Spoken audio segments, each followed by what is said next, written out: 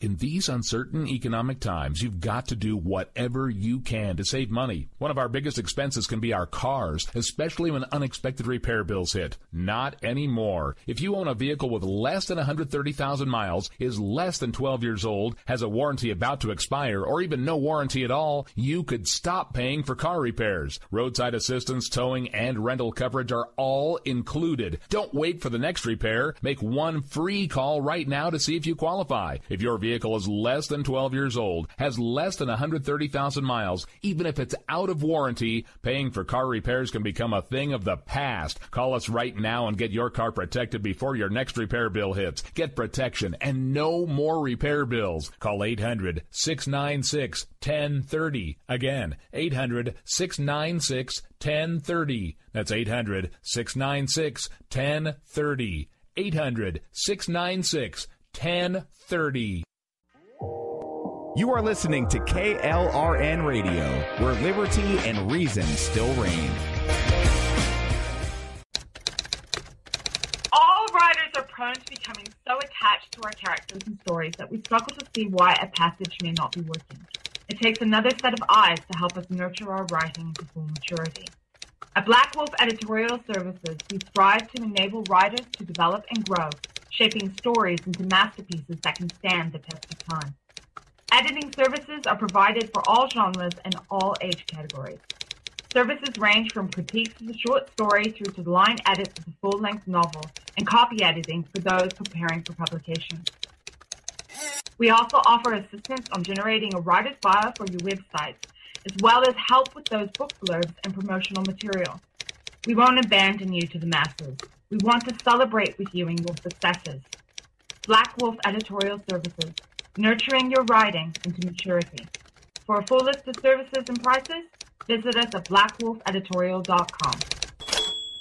Individuals and businesses with tax problems, listen carefully. Do you feel like you're losing control over your finances? If you owe over $10,000 in back taxes or have unfiled tax returns, we can help you take back control. The IRS is the largest and most aggressive collection agency in the world, and they can seize your bank account, garnish your paycheck, close your business, and file criminal charges. Take control of your tax problems now by calling the experts at Tax Mediation Services and take advantage of the Fresh Start program and new laws that may allow us to negotiate a settlement for the lowest amount possible. Our team of tax attorneys and enrolled agents can stop collections and get you protected so you can take control of your financial future. Tax Mediation Services is accredited by the Better Business Bureau. Call now for a free case review and a price protection guaranteed quote. Call Tax Mediation Services now at 800 610 9050. That's 800 610 9050. 800 610 9050. KLRN Radio has advertising rates available. We have rates to fit almost any budget. Contact us at advertising at klrnradio.com.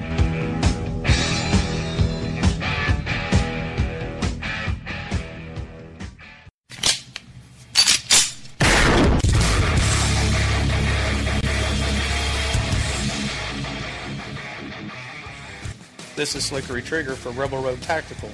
With proper care and feeding, your pistol will be ready when you need it. There to save your life. Shouldn't your gear be that good?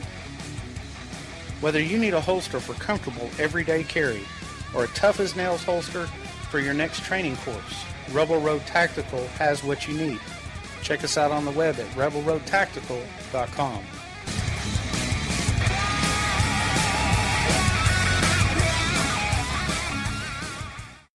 Tired of paying outrageous prices for Viagra? Well, we have great news for you. Now you can finally get Viagra at huge discounts. Healthy Man allows you to save up to $500 on Viagra. Why pay U.S. pharmacy prices of $15 per pill or more when you can get Viagra for less than $3 a pill? Call today and get 40 Viagra pills for only $99. This can cost as much as $600 at your local pharmacy. You can't afford not to call us. If you want Viagra at the lowest prices, never pay $15 a pill pharmacy prices again. Get Viagra for less than $3 a pill. Call 1-800-516-7602 today and save up to $500 and get 40 pills for just $99.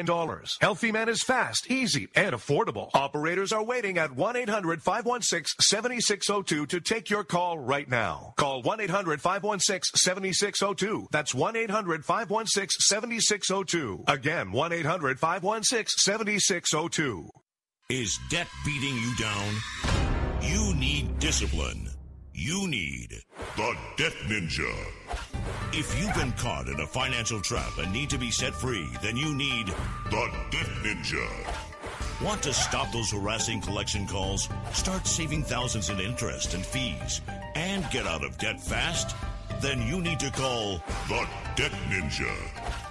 The Debt Ninja will find the best companies across the country that will help you consolidate all your bills into one easy payment, reduce your payments by 30 to 50%, and get you out of debt fast. If you have unsecured debt of $10,000 or more, such as credit cards, loans, or medical bills, call the Debt Ninja for a free 15 minute consultation. Call 800 826 1246. 800 826 1246. That's 800 826 1246. Call today. The Debt Ninja.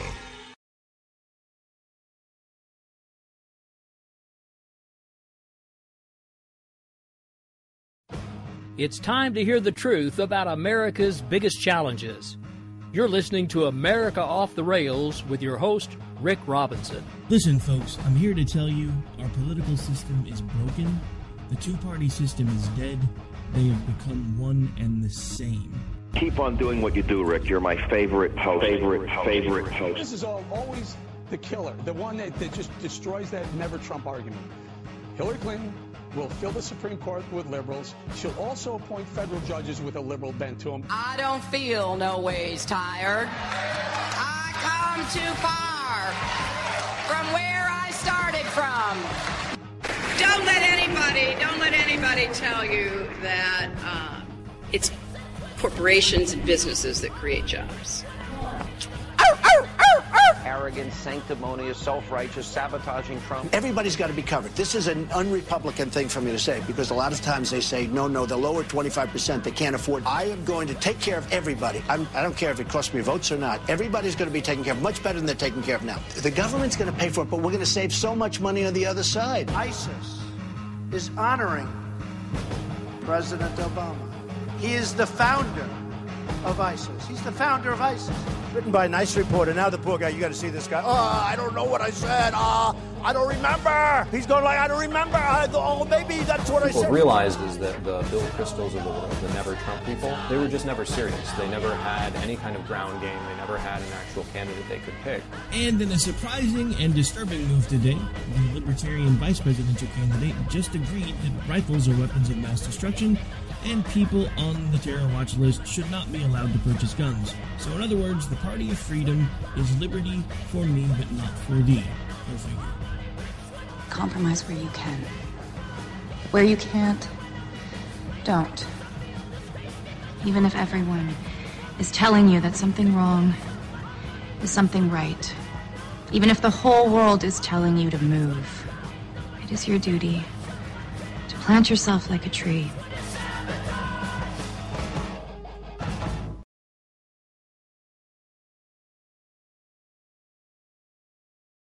All right, folks, happy hump day. This is America Off the Rails. I'm your host, Rick Robinson, and it is Wednesday, August 31st, 2016. If you're listening to us live on KLRNradio.com, welcome. If you're listening on one of the many affiliates, um, I hope you guys are having a wonderful day. Of course, if you're listening to us live, then the speech that Donald Trump just gave about immigration concluded just a short time ago, and there's a lot of things that we're going to talk about with that today. But before we get into that, I have something I definitely want to talk about, and it's something I've been kind of dancing around around and taking the taking the kid gloves approach to, but I'm done with it. I have some ranting and raving from someone that I used to actually admire quite a bit that I'm going to play here in just a minute, and then we're going to talk about it because I'm done being nice. I'm done being called out. I don't care who's calling me out. The simple fact of the matter is, I know what I believe, I know what I stand for, and I know why I'm making the decisions that I make.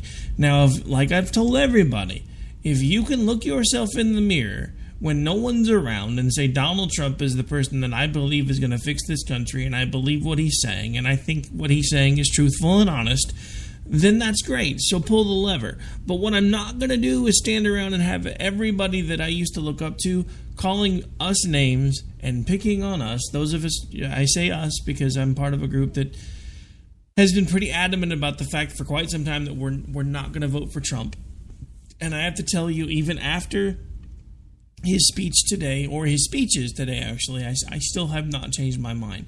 Now we're going to go into those a little bit more at the on the second half of the show. Talk about things that I thought he did right. Talk about some things that I think are interesting that he left out both here and in Mexico, um, because it is a bit of a softening.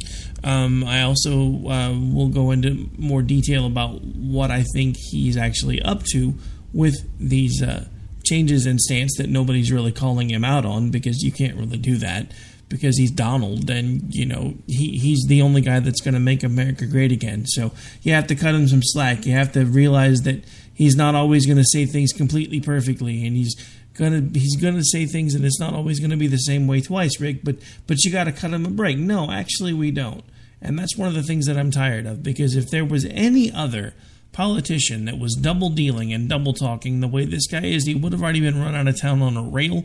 But because it's Donald Trump and because he has this star quality that everybody seems to be completely enamored with, he gets do overs, retakes, and passes out the wazoo. All right, so before we get into that, I do have something I want to play here real quick. Um, you'll notice the voice once it starts, so sit back. It runs for about three and a half. I'm just going to say it because it needs to be said.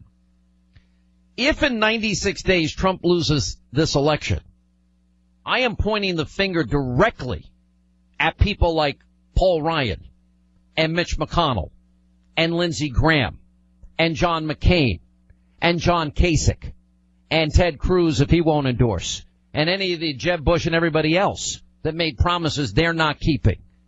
And because I have watched and witnessed to the point of incredible frustration, I have watched these Republicans be more harsh towards Donald Trump than they've ever been in standing up to Barack Obama and his radical agenda that has doubled the national debt, that has resulted in a 51 year low in terms of home ownership in this country, the percentage of homes that are owned by Americans, that has led to the lowest labor participation rate since the 70s and that has led to millions and millions and millions more Americans in poverty and on food stamps and out of the labor force.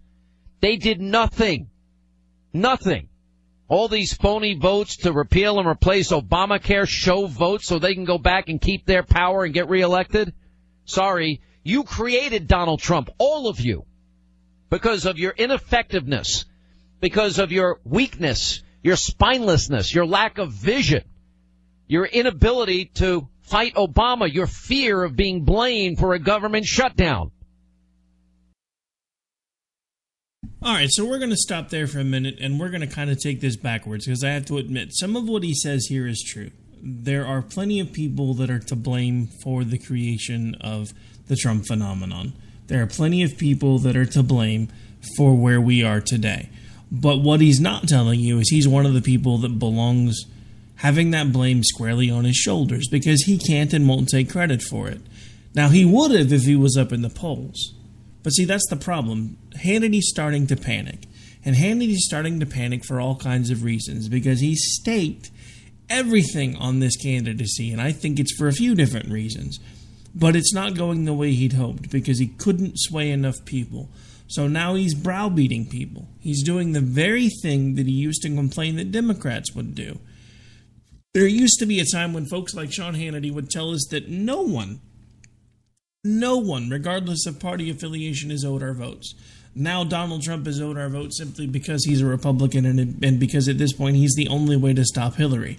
Sean, he's the only way to stop Hillary because at this point you've done everything you could to put him in this position. You have left out important things that have happened. You've not talked about a lot of the, things that he's talked about, which are complete and total changes in policy and position. You've actually spoon fed him ideas. I've watched it happen over and over again on your show on TV before I could before I couldn't stomach anymore and pretty much stopped watching your show on TV. I do still occasionally listen to the radio show, but it's only because I, I am a radio. I, it, it's something I've never heard before, but but I hear my friend Dan say it all the time, who's on with me on Fridays. He calls himself a radiophile. I guess that's really a pretty good way to put it, because most of what started me down this path was the fact that I used to listen to folks like Sean Hannity, Glenn Beck, Rush Limbaugh, and pretty much anybody that I could find, even Jerry Doyle. God rest his soul, the guy that I best remember for, as Chief Michael Garibaldi on Babylon 5 actually had a talk show for quite some time that I was able to find and I thoroughly enjoyed. I enjoyed pretty much anybody that had anything to say about talk radio, especially if it was political, until now. There are people that I can barely turn on now. Sean Hannity has become one of them. Rush Limbaugh has become one of them. Now, I have to give Rush a little bit more credit. He doesn't really have guests that often, and it's not like he's giving Trump all this airtime to come on and blab and yada, yada, yada, blah, blah, blah. But I still can't really stomach Rush very much anymore either because he's not doing what he said he was going to do when the show started. He always told us, they all always told us that no matter what, they were going to be truthful to us and they were going to adhere to their beliefs. Now, I heard Glenn Beck this morning say that he believes Sean Hannity is doing just that, so he doesn't understand why everybody's being so hard on Han- on Hannity because we had our time of our vitriol. We we've had the point where we took our stand and we got lambasted and we got ridiculed, and it's still happening for a lot of us. But now that Trump is down in the polls, the the the the anger is turning, and now folks like Sean Hannity are starting to face the ire, even from Republicans that used to support them. And he says he doesn't understand that because he knows Hannity is doing what he believes.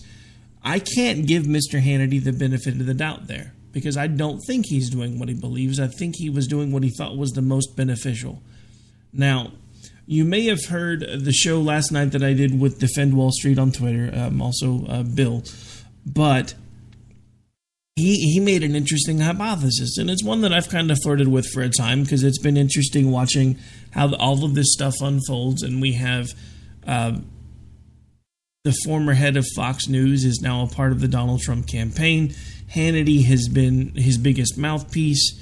Uh, we have all of these little uh, bits and pieces behind the scenes, like the fact that one of the folks that is running Breitbart right now is now also affiliated with this campaign, Mr. Bannon. And then there's all these little stories leaking about how Donald Trump intends to start a news channel after the election. It's interesting how all these pieces keep coming together, and it's interesting how it just so happens that Hannity's contract with Fox is nearly up, and Hannity's been in all kinds of trouble with his syndication providers. He's actually already supposedly willingly given up a deal with Cumulus. Um, now, depending on who you listen to, it was either willingly or he was run out of town. I'm not sure at this point because I I used to side with Hannity with that because the one that was giving him the most grief about it was Michael Savage, who attempted to take over his time slot for a short time in Cumulus, and that seems to have not worked out very well because the last time I turned on Michael Savage, he wasn't on in Hannity's time slot anymore, but he is, he is still running. Now, I don't know if it was a mutual thing with Cumulus or if Hannity, if everything Hannity said was true about Cumulus was true and he walked. But at this point, the simple fact of the matter is a lot of the folks that one of our former hosts around these parts, Stacy Lennox, used to call Anger Inc., a lot of those hosts are in serious trouble. They're having difficulty finding sponsors. They're using more and more filler for advertising space. They have sponsors that pull out on a daily basis. And it's because there are a lot of people that have now started considering those shows toxic. And it's because of everything they've been saying and everything they've been doing. And what disturbs me about where we are with political talk radio and the ideologues in this country is we're not allowed to disagree anymore or we get attacked. And look, I wouldn't be going after Sean Hannity if he wasn't spending so much time, every single chance he got, saying that he was going to blame every single one of us who refuses to vote for Trump if Trump doesn't get the, the nomination to the White House. Look, folks, it's really simple. The only person that deserves any blame if Donald Trump doesn't get the White House is Donald Trump. But if we're going to start extending it out to folks that also deserve blame, it's not going to be those of us that are involved in the Never Trump movement because we have pretty much from day one told everyone within the Republican hierarchy that this is not going to be the man that we are going to be willing to vote for. So if you're going to continue to put him up, then you need to make a decision whether you want to leave conservatives behind who are not willing to vote for him, or are you going to tell him at this point that he needs to run as an independent and try to put up a candidate that we can all deal with and see what happens. They weren't willing to let him run as an independent because they were convinced that he was going to bring ratings and money to the political debate stages that they hadn't seen in decades. Everyone was billing him as the next Ronald Reagan. Everyone was billing him as the next Ronald Reagan. I even heard Mark Levin before he came to his senses one night talking about uh, Donald Trump's tax plan and how it was the most Reagan-esque thing that he had seen or heard in several years. Listening to Mark Levin today, you would think that he had never said a single thing positive about Donald Trump. And that's not necessarily good either, because again, I, I do I, I don't have an issue with Donald Trump as a person.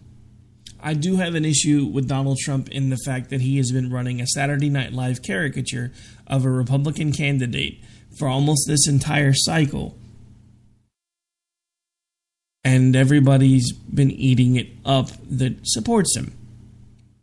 I also have an issue with the fact that Donald Trump, in his caricature, has made the GOP everything that the Democratic Party used to say that we were, and that so many of us were fighting to disprove. In one fell swoop, he has basically rendered the, the party completely inept, incompetent, and untenable. And yet, here they stand, telling everyone that he's going to be the one to win the nomination when everything tells us otherwise. Everything tells us otherwise. Regardless of how many people that he brought up on stage tonight. Remember, though, folks, and we'll get to this a little bit more after the break because we're coming up on the break. But remember, remember, the thing with that is, folks, the thing you need to remember is he, he was talking how much crap in the DNC for them bringing up the family of a wounded soldier and turning it into a press circus. And yet he brings up all these families of people that had their loved ones taken by illegal immigrants. And I understand why he did what he did. And I'm not necessarily even condemning what he did. I'm just saying, for someone who is always so vocal when everyone else does something that he doesn't like, for him to turn around and do the exact same thing with little to no thought of what it's going to look like is a little insane. All right, so we've got a little bit more that I want to play on this clip, and then we'll finish talking that out before we go to break. And then when we come back, we're going to take apart the two speeches today um, what I liked, what I didn't like, uh, and. And I'm getting a little sick and tired of all of you.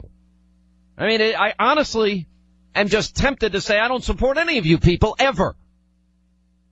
Well, I'm like, I'm, you know what? Paul Ryan wants to play this game. Well, I haven't made up my mind either. He's running against the guy in the primary. I haven't made up my mind who I'm going to support. Well, you know, we'll find out in a couple of days. I haven't made up my mind. This game that they're playing. And so Trump fires back because he's sick and tired of these idiots that, that can't, you know, we just had a Democratic convention where you had the single most leftist socialist platform ever written in American history.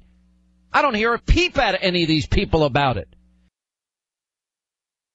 And you know why you're not hearing a peep out of anybody about it, Sean? Because we had the same talking points on our stage. So we don't have any room to talk about it anymore because we allowed a leftist to start running the party. And by we, I mean you. Because I didn't support him but for maybe, I mean, politically speaking, probably five minutes. When he first came on the stage, it was refreshing. I liked the fact that he was giving everybody grief. I liked watching him take uh, Jeb off at the knees because everybody knew we didn't need another Bush or another Clinton. now, unfortunately, thanks him, it looks like that's exactly what we're going to get, which is another Clinton. So, Sean, yeah, nobody can really talk about what the talking points were at the DNC because the RNC has no room to talk about them anymore because they used the same talking points. Gender pay gap, daycare, all of these things that everybody has always been talking about on the left that we've all been like, you know, this is really not something the government needs to concern itself with they were active planks in the RNC speeches. So yeah, Sean, that's why nobody's talking about it. But hey, let, let's keep listening. You had a socialist that now defines and captured the hearts of the Democratic Party. You don't hear a peep out of these people. That's because we have a socialist running for president on our side, Sean. Anybody remember that he wants to make the government pay for health care? Anybody remember what that's called? It's called what kind of medicine again? I think they call that socialized medicine. So yeah, you know, he's supposed to repeal and replace Obamacare, but he didn't bother to tell anybody when he started ranting about that that he was going to make it even more socialized medicine because he thinks that's going to actually save the government money and save us money. So yeah, we can't really talk about the socialist, in otherwise known as Mr. Bernie Sanders, who almost took over the party because we have one running ours or my former party. You have a president that was reckless not only with the economy, as I just mentioned, and doubling the national debt and accumulating more debt than every other president before him combined. He sold, he literally gave money to the number one state sponsor of, uh, of terror, Iran, to get hostages back. All right, so all of this is true. Everything he just said there is true. Obama has done all of those things. The Obama administration has done all of those things. But thanks to the fact that one Mr. Sean Hannity continued to push Trump, even when all of us, all of us, and I mean by all of us, what he's at what 77% in likely Republican voters, which means even 30 some odd percent, what 33% of Republicans were like, no, we can't do this. Even Romney was at like 90% of likely Republican voters by now, and he still managed to lose. Romney was pulling what 34% of Hispanic voters. Trump has like 5. Uh, Romney was pulling 15, 18% uh, African American voters, and I'm pulling these numbers off the top of my head, so they may be a little off. Um, Trump is currently sitting at six, and yet these people are convinced that he's going to be the one to win. He's not. But everything he just said is true. The problem is, Sean, thanks to you and those of you that have made it Trump or bust, we're going to bust. And we're going to get Obama 3.0 out of Hillary Clinton because she's going to take everything that he did, put it on steroids, and make it happen even faster. Trump is going to be Obama 2.0, so there's not too much of a difference there. But the scary thing about both of them is they both understand the power that Obama's been trying to wield that he didn't understand until halfway through his second term when he started doing everything through executive order. And rest assured, folks, mark my words, either Donald Trump or Hillary Clinton, whichever of these two nozzles gets into the White House, is going to make they're going to make the executive orders that Obama did look like child's play because they understand how the power works that he didn't. And thanks to Kleenex kings like this guy, we're stuck deciding whether we can put our principles aside one last time and vote for somebody like Trump. I can't do it anymore. Not for this. Not for this guy. I have held my nose for about three cycles trying to put a Republican in office because I thought that was the right thing to do. Not this time. Not anymore. I've went this far, I'm not going any further, and by God, it's time we make some honest changes. And I thought the Libertarian Party might have been the way to do that, but now I'm seeing the more I get involved in that party and the more pe- people I talk with in that party, all they're really wanting to try to do is rearrange the seats at the table of power. They're not looking to actually make changes. If they were, their candidates wouldn't be talking so many points from the left. They're not wanting to make the country better. They're just wanting to make their party more tenable so they can have a chance at the reins for once. I actually want to fix things. Why is that so hard to understand? And he's given these idiots $150 million of, of money so they can, according to reports last week, now they've cut in half the time they can build nuclear weapons. Where were you after American treasure, blood, sweat, tears, the financial burden of winning Iraq? And you allowed these people to demagogue the war in Iraq and that created an opening for ISIS. I don't hear you critical of Hillary. Where was I when all that was going on, Sean? Sitting right here and writing for papers and writing for for other blogs and writing on Facebook and interviewing people and trying to make people understand that conservatism was the way to make this country work, the way to keep it functioning, the way to bring it back from the brink. And you sold it out. So don't you ask me where I was. Don't you ask me what I was doing because there are plenty of people just like me that have been here fighting every single day just to watch you flush us down the toilet like we didn't matter, just so your buddy Donald Trump can have a chance at the White House. Just in the hopes, just in the, in the in the general hopes that maybe, just maybe, you get the nod as White House press secretary. But don't don't get me wrong. I know you've hedged your bets because I know what's going to happen when he loses because he is going to lose because he doesn't even want the job, probably never has. You're going to take a job at the new TV station. Sean, we're not stupid. So please, get off your self righteous high horse for once. And go back to doing the Amer- doing for the American people what you said you were going to do, which is talk to them about what the truth is. It really is that simple. All right, folks. So at this point, we have got to take a break. This is America Off the Rails. I'm your host, Rick Robinson. We've already hit the bottom of the hour. When I come back, we're going to talk the speech in Mexico and the speech earlier tonight.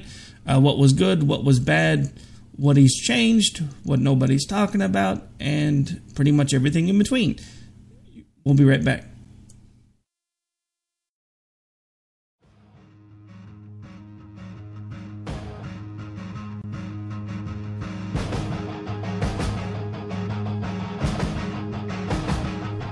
Stay tuned. Things are going to get real interesting. You're listening to the Spark Radio Network.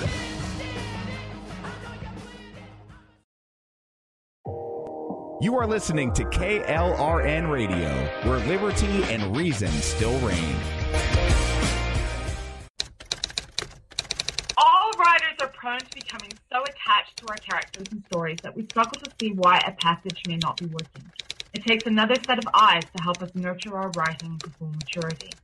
At Black Wolf Editorial Services, we strive to enable writers to develop and grow, shaping stories into masterpieces that can stand the test of time. Editing services are provided for all genres and all age categories. Services range from critiques of the short story through to the line edits of the full-length novel and copy editing for those preparing for publication. We also offer assistance on generating a writer's bio for your website, as well as help with those book blurbs and promotional material. We won't abandon you to the masses. We want to celebrate with you in your successes. Black Wolf Editorial Services, nurturing your writing into maturity. For a full list of services and prices, visit us at blackwolfeditorial.com. Individuals and businesses with tax problems, listen carefully. Do you feel like you're losing control over your finances? If you owe over $10,000 in back taxes or have unfiled tax returns, we can help you take back control. The IRS is the largest and most aggressive collection agency in the world, and they can seize your bank account, garnish your paycheck, close your business, and file criminal charges. Take control of your tax problems now by calling the experts at Tax Mediation Services and take advantage of the Fresh Start program and new laws that may allow us to negotiate a settlement for the lowest amount possible. Our team of tax attorneys and enrolled agents can stop collections and get you protected so you can take control of your financial future. Tax Mediation Services is accredited by the Better Business Bureau. Call now for a free case review and a price protection guaranteed quote. Call Tax Mediation Services now at 800 610 9050. That's 800 610 9050. 800 610 9050. KLRN Radio has advertising rates available. We have rates to fit almost any budget. Contact us at advertising at klrnradio.com.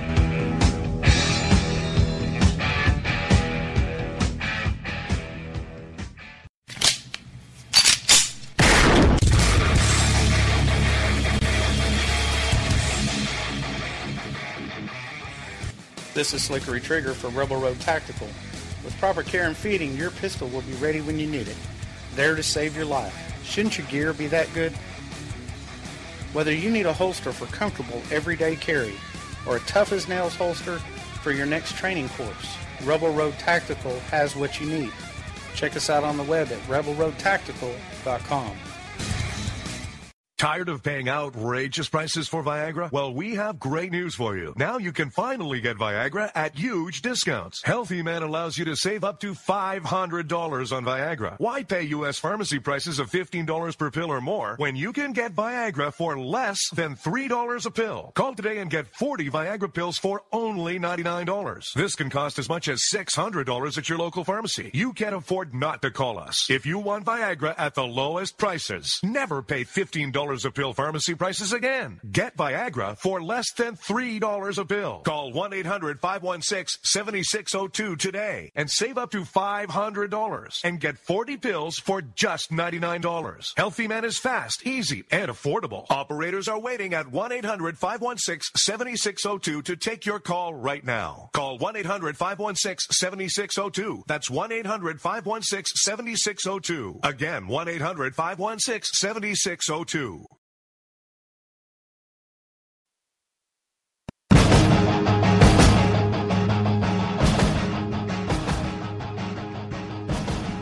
right, folks, we are back. We are live, already into the second half of the show. My oh my, where does the time go? All right, so as promised, last half of the show, we're going to be talking the speeches both in Mexico and at home today, and some very important things that nobody's really talking about. So before we get into that, it's interesting that today of all days was the day that Donald Trump chose to go to Mexico, because this was also also the day that something that Jen and I touched on last night really hit the mainstream, which was well as much as it will hit the mainstream anyway, uh, was the uh, new revelations about Hillary's emails when it, uh, in reference to Benghazi. The simple fact of the matter is, I think this was again another distraction by Trump, whether on purpose or not, who knows. Um, but the simple fact of the matter is, we now know that there were references to Benghazi and about Benghazi on an unsecured server, and I'd bet you dollars to uh, Chris Christie's Krispy Kremes that that's probably how the attackers knew when and where to strike, but that's just a feeling in my gut. So we'll wait and see if history uh, uh, shows me to be true on that one or not, because at some point we will know the answers. But it's interesting that that happened today and became really prevalent today while everybody else has been talking about Donald Trump's trip to Mexico.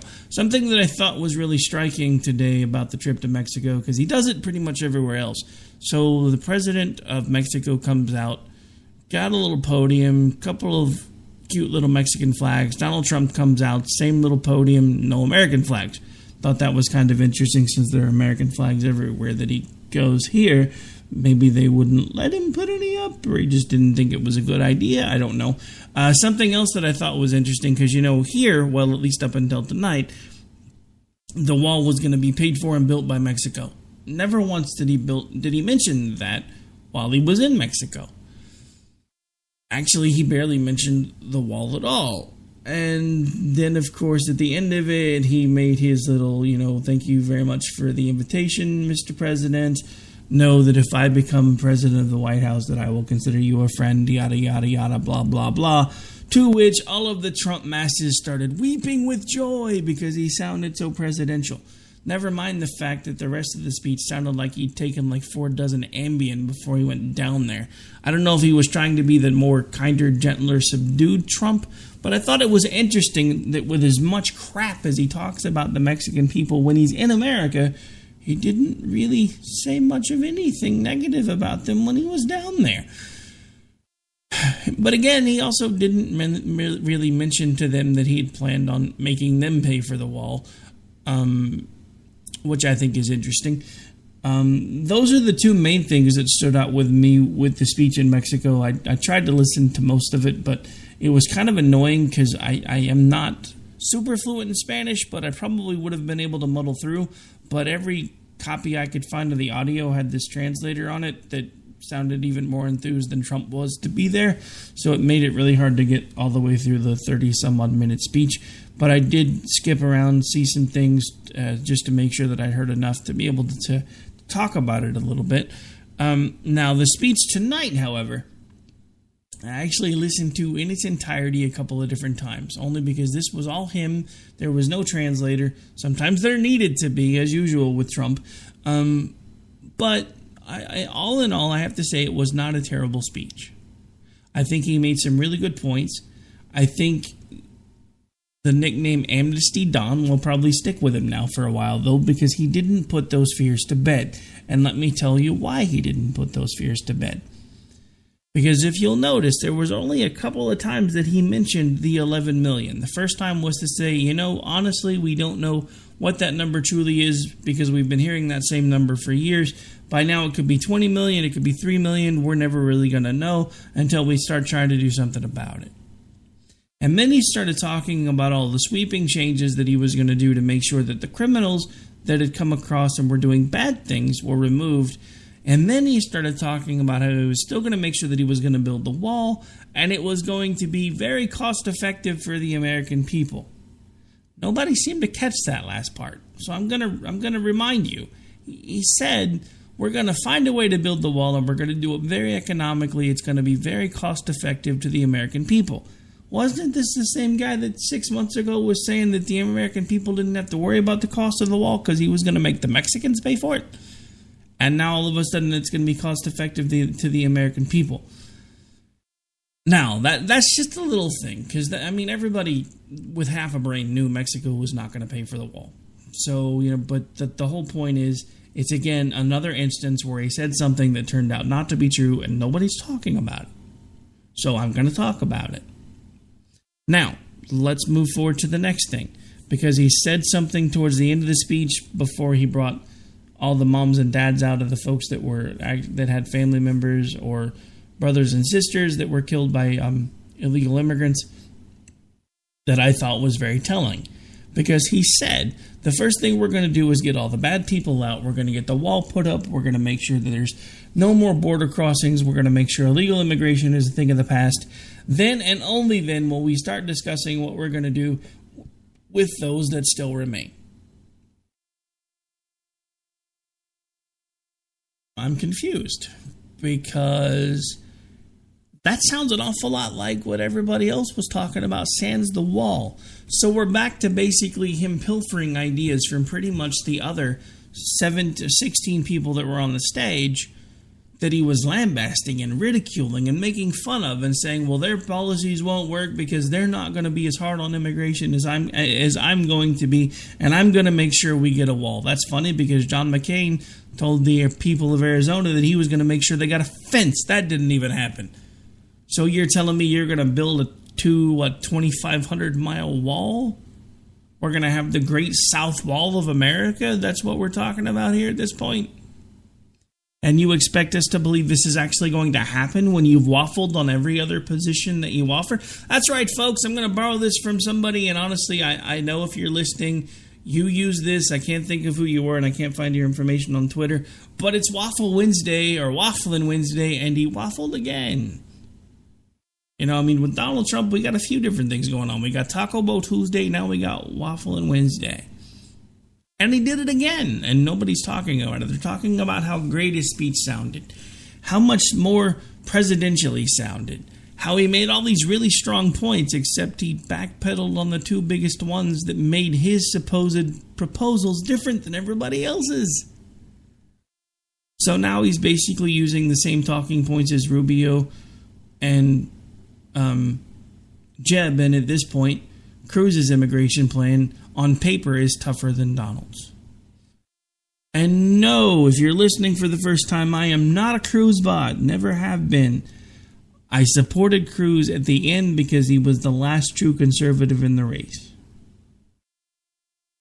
Whether anybody wants to admit it or not, Donald Trump is not a conservative. Donald Trump is someone who is looking out for Donald Trump, trying to make sure that he gets his shot at the White House because he's been trying to get here since since the 1980s and hasn't managed to pull it off yet. Even went so far as to start trying to form his own political party, which, when he did it with the uh, Reform Party, was laughable. Now, a lot of us are seriously looking at the alternatives of forming another party because the two party system has left us in the cold, and the libertarians are already, even with their brief flirtation with the spotlight, already starting to try to do the same thing. But the simple fact of the matter is, folks, this is where we are. This is where we are as a country. We now have people that used to say they were bastions of conservatism telling us that we have no choice, no choice at all, but to vote for the nominee, which has never been what they've said before. And the funny thing is, in 2012, I was exactly where the Trump supporters are now with Romney. And I didn't see yet just how broken things were. Because at least with Romney, there were things that I could look at that I could draw correlations with and I could draw parallels, and there were enough of those that at the end of the day, I really thought Romney was the better choice between Obama and or between himself and Obama. There aren't enough corollaries with Trump for me. There just aren't. He's not firm enough on his positions. He changes them all the time. He tells different people different things depending on who he's talking to, which is very indicative of a salesman, by the way. Don't get me wrong. This is just a habit of his. I don't necessarily think he's doing it on purpose, but since he's not been scripted, and because he's not in front of a teleprompter, he's telling people what it is they need to hear to close the deal. The problem is, it may not be intentional, but it's still dishonest because he knows he's working the room.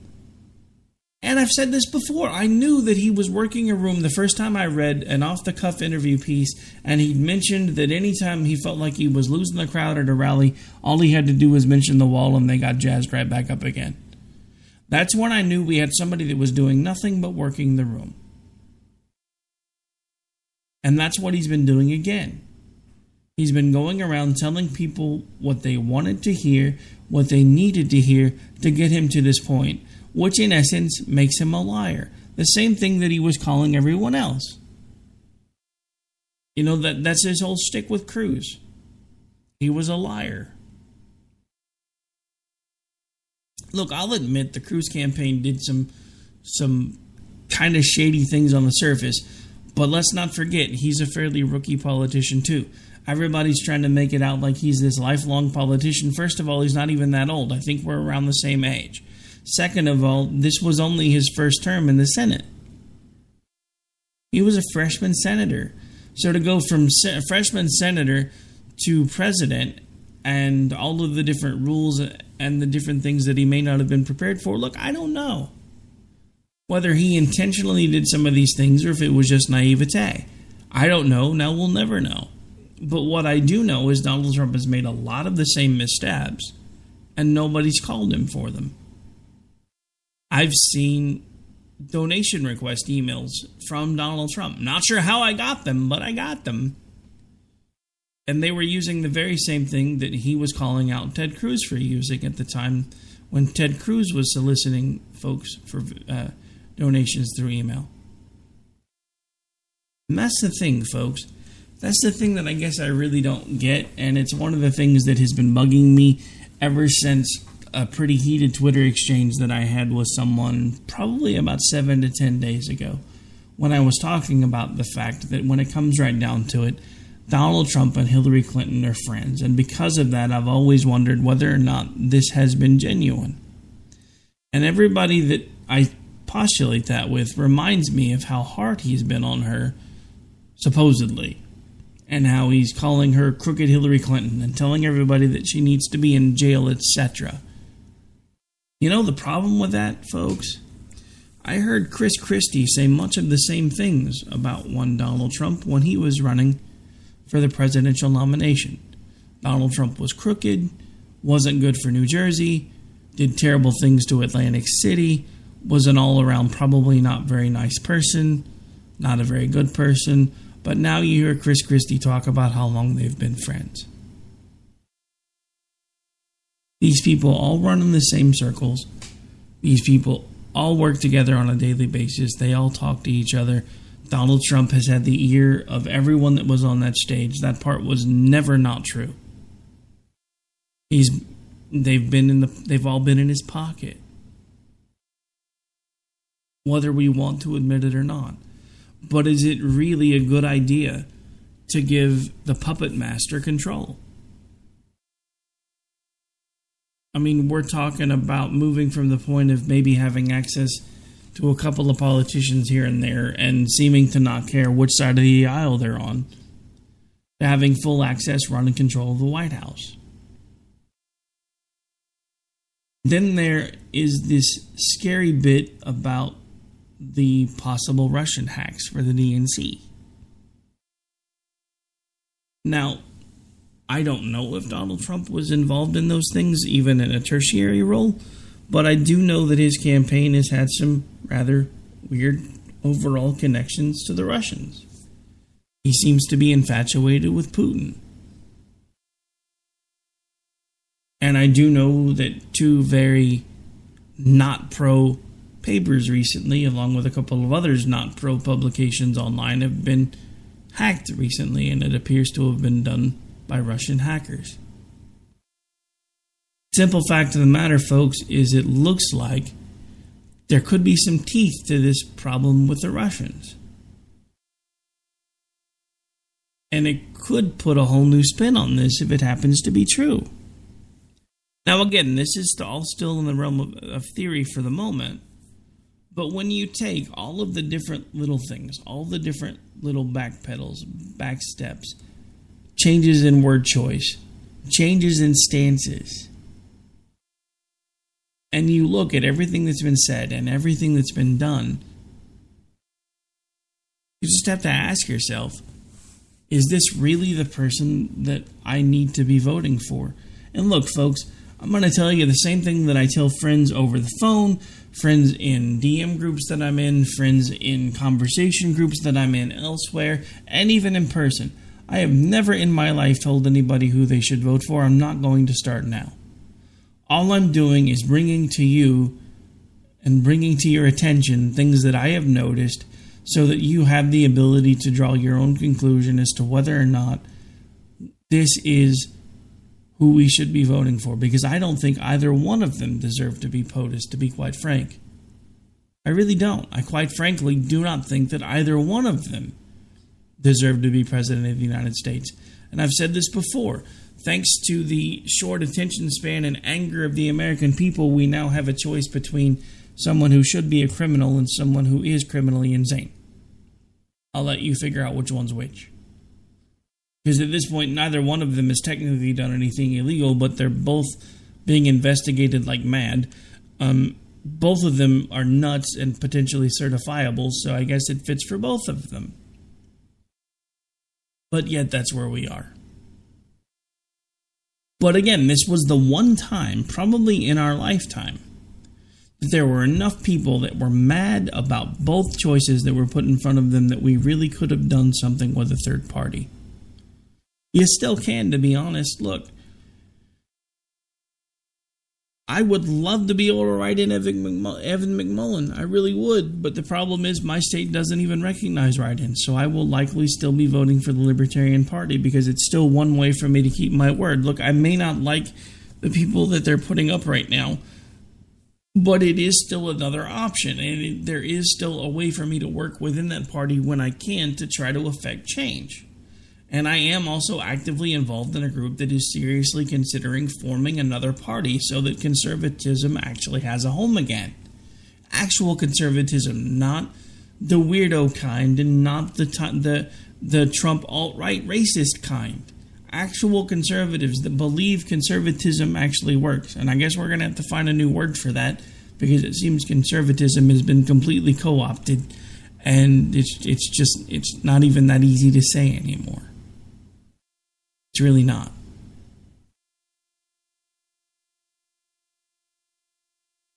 I just I don't I don't have the answers, folks. I'm not trying to give you answers. I'm not trying to spoon feed you information. I'm simply trying to make you think. And the simple fact of the matter is, when you look at the speeches and you look at the things that he left out of those speeches, you have to understand that he is legitimately softening on his immigration stance, which I don't necessarily have a problem with because I thought it was a very grandiose stance to begin with. Why I have a problem with it was because if he was saying the things now, if he was saying the things back then that he was saying now, I don't think he would be where he is right now. We would have had a completely different choice in front of us, and anyone but him at this point could have beaten Hillary Clinton because none of them have the baggage that he has. None of them have the unfavorability ratings that he had. And look, again, going back to some of the points that Sean Hannity was ranting about earlier, I do fully understand the fact that a lot of the folks in our government are also responsible for Donald Trump being the phenomenon that he is right now in politics. But that also has a lot to do with Anger Inc. Because people don't seem to understand how our system is actually designed to work. Our system is not designed to be quick. Our system was designed for what we used to laughingly call swift justice, not swift legislation. And swift justice isn't even necessarily that anymore. You can go months, even years, tied up in the legal system before you get any type of justice. But our our governing system is even slower. And it's that way by design. Because if it weren't, if it was able to be changed by populist wave and by whim, then the country would tear itself apart, much like you're seeing happen now. Because we have so many people that want the changes to happen and they want them to happen now and they need to need them to happen now because by God they're angry and it doesn't work anymore. But our country does still work. What nobody understood when they can when when in 2010 they started giving control of the House and the Senate back to the Republican Party. That was a clear signal to the Republican Party to put on the brakes as much as they could, and that's what they did. But in 2012, when they didn't get Romney into office, all they could really do was keep putting on the brakes. It was a stalling tactic. Let's shut down as much of it as we can, keep as much of his information and legislation from going through as we can, and it was working. It was working so bad that the President of the United States usurped them and the Constitution and passed immigration reform, not by law, but with a pen and a phone. So much so that even Saturday Night Live made fun of him. That's how much this was working. But we didn't give them the tools that they needed because we couldn't get behind Romney. So now, because of Trump, we're likely going to lose even more seats. Conservatism is likely going to remain untenable for at least a cycle. But I, support, I, I, I submit this to you today. If Trump wins and the, the, Republican, the Republican Party becomes the bastion of the alt right that it is slowly becoming, the GOP will be untenable for generations, not for a cycle. And that's why I've opposed Donald Trump from almost the beginning. When I realized the type of people that he wasn't distancing himself from, that he wasn't disassociating with, when he started making all this noise about he had no idea who David Duke was, even though he knew point blank who David Duke was because years ago when they interviewed him about it, when he was starting the Reform Party and David Duke joined the Reform Party. Well, I'm not real happy about having a racist in my party. Funny, he knew who he was then.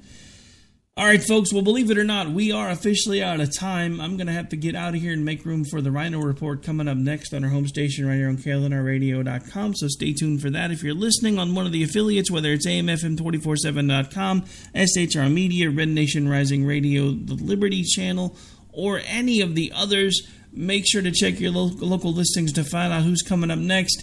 I will be live with you again tomorrow night for a double shot. First Jen and Rick, then America Off the Rails. And then we're going to bring it home Friday night with the last round of the Trumpkin call out. So if you're listening to this show on a lot of the other stations, because I know most of them are actually pretty popular with you Trump folks, look, we're not going to call you names. We're not going to try to make fun of you. We want you to actually call in. I'll give out the number tomorrow. I'm not going to do it right now, but I will give out the number tomorrow. We'll start tweeting it out tomorrow as well to make sure that it's been given out for at least 24 hours. And we want to talk to you, not to not to point and laugh now, now we may, depending on what you say, but we want your honest answers as to why, even with all the waffling and the position, position changes, you still think Trump is the way to go. But I have got to make room for the folks coming on behind me. So you guys have a great night. This is Rick Robinson. This, this has been America Off the Rails, and I'll be back with you before you know it. Have a good night. Take care. God bless.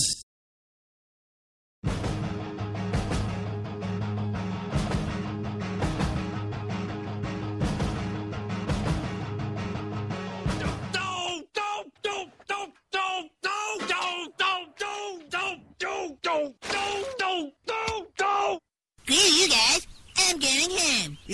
Game over, man. It's game over.